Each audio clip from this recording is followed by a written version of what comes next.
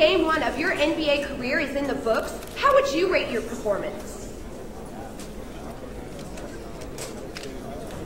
Um, I felt like I did okay, man. You know, lots of butterflies, I'll tell you that much. I kept my composure, played good defense, and uh, it all went by so quickly. It's already a blur in my head, truthfully.